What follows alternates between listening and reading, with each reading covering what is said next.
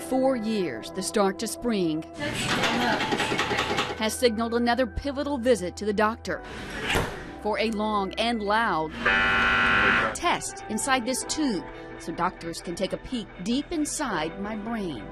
I think you have early MS. MS, MS, MS, MS. MS stands for multiple sclerosis or multiple scars. That's what these white spots are, much like damage to the insulation of an electrical cord. One thing I've learned in this four year fight is that all autoimmune disease has a trigger.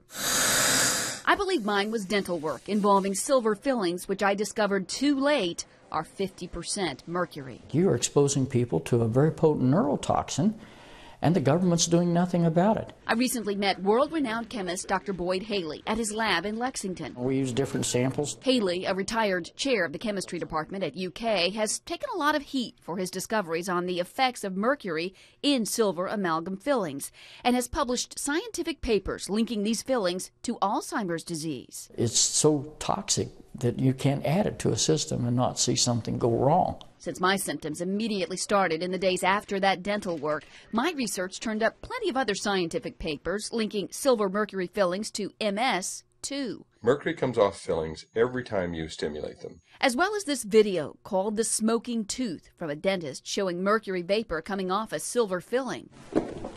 But my journalistic instincts still left me wanting more. Show me. So Dr. Haley brought out his mercury analyzer. There's a dental amalgam. And if you take this, hold it in front of this thing which absorbs it, there goes the mercury. What, what does that tell you when that needle just went all well, the way well, you look on the side, it tells you how much mercury there is per cubic meter, how many milligrams per cubic meter. Dr. Haley repeated the test with other amalgam fillings made by 10 practicing dentists.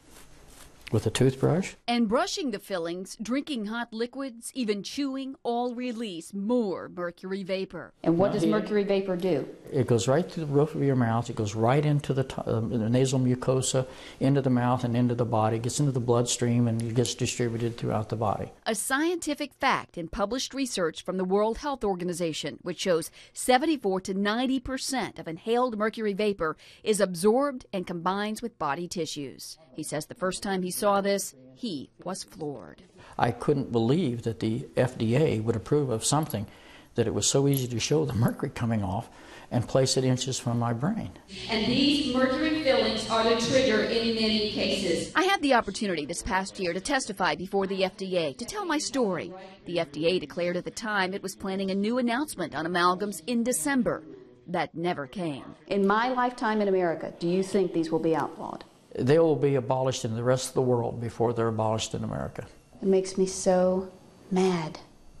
But that's what's going to happen. The FDA uh, would lose face. Dentists, the American Dental Association would be faced with multiple lawsuits and contempt. Hey. Hey, how's it going? Meantime, I'm continuing down a radical and controversial path back to health. Tell me if it gets sharper or lighter or stays about the same as I go down. Gets uh, lighter about this point right here. I'm seeing an osteopathic doctor who I believe, through God's guiding hand, has put me in remission.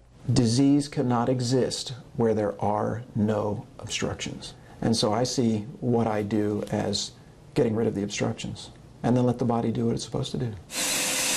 A few years ago, I had what I believe was the biggest obstruction, those mercury fillings, removed using the only safe protocol there is. You comfortable? Yeah, I'm good. Since then, I've been undergoing IV chelation therapy to draw heavy metals out of my body. The body's ability to heal is unparalleled. So that's a gift from God. Now I just have to hope and pray that this four year scan is as good as the last three.